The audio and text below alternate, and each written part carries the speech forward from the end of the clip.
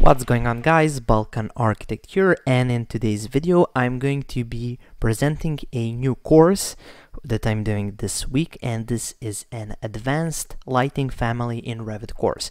So I'm continuing on with the theme of advanced family creation in Revit and today's uh, this week's topic is going to be uh, lights in Revit and I'm going to be showing you two types of complex lights to create in Revit and all of the little tips and tricks that go along with it to create that perfect uh, lighting family. Now, as you can see over here, here we've got uh, this uh, cool looking, uh, basically a freestanding lighting family.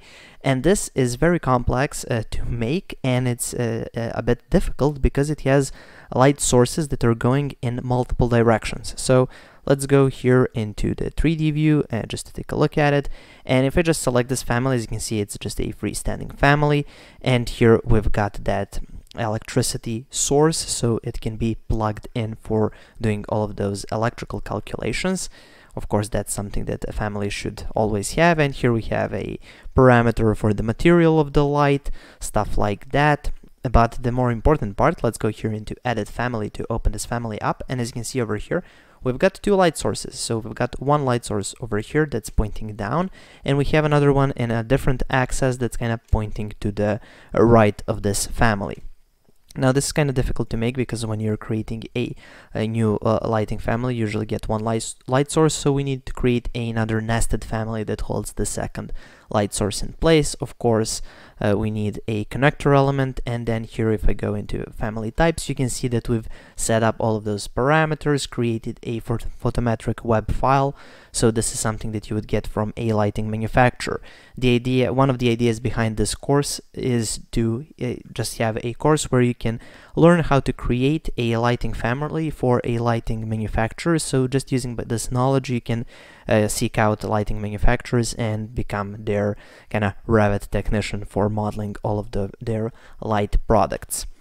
Okay, moving on, let's exit out of this family. Let's go to the second project. And here, uh, for the second project, I'm doing this recessed ceiling with lights in it. As you can see here, we've got these dots. And when this is all turned on, here in the renderings, you can see that it looks kind of like this. Now, I've already done a simple tutorial on how to do this, but that's really a basic tutorial, and that's something that maybe looks good for some renderings and for some simple projects. But here we're creating a dedicated light strip family.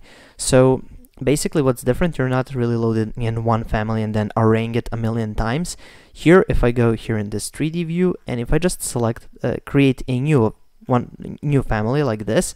So if I just go here to component, as you can see, it's a light strip family. We can just go to a face and just place it just by pulling a line and it will create a uh, basically an LED strip and all of these LED lights are at a certain distance. So I've set this up to be at 10 centimeters but of course it can be different. And you can basically pick pick up any place um, any face in the model so you can go like this place one on the ceiling so you can basically choose any face that you want and you're going to be placing these lights and also we've got some parameters so it automatically calculates the apparent load based on the length of the light uh, strip or the LED strip based on the number of lights in here. And let's open that family up. So let's go here into edit family. As you can see, this is created as a line-based family.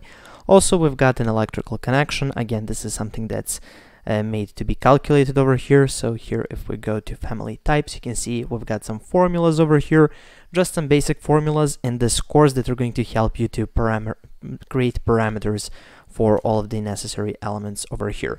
And then nested inside of this line-based family is our light-based family for uh, every single diode or LED light that we have inside of it. And the end result is a lighting uh, family that you can use like this in projects.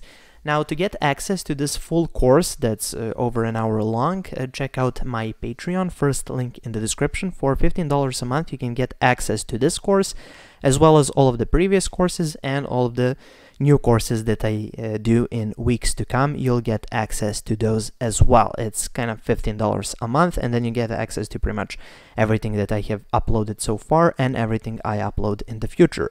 One more thing, if you want to get access just to the project files, so just these families, these project files, the family files, you can become a just a premium Balkan Architect member and for only $5 a month you get access to all of my project files. I've got like 200 files or something like that uploaded already and I'm uploading new files whenever I do any new projects. Okay, so if you want to get access to that, check out the first link in the description. Thank you for watching, please subscribe, like and share this video and I'm coming back with another regular Balkan Architect tutorial in a couple of days. Thank you for watching and have a nice day.